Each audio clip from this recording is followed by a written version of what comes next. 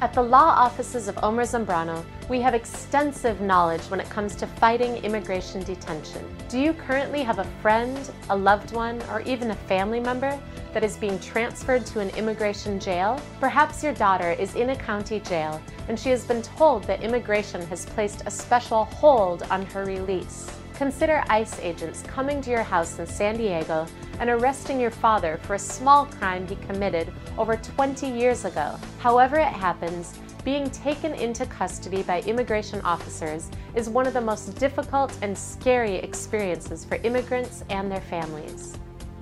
At the law offices of Omar Zambrano, we want you not to panic. Some individuals want to give up as soon as they are placed in custody, when they are questioned by immigration officials, they choose the easiest way out. Feeling desperate, they refuse to wait to be released.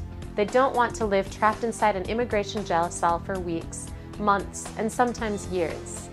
They're afraid of losing their case and worried about being deported. They agree to a grant of voluntary departure or expedited removal even before talking to an immigration attorney experienced in deportation defense. This is the wrong way to handle the situation. Your friend or loved one may have had a good defense against deportation and chance to win his case, but he threw it away. The easy way out actually becomes a nightmare. Don't let your case come to this. The law offices of Omar Zambrano have experience in trial immigration law.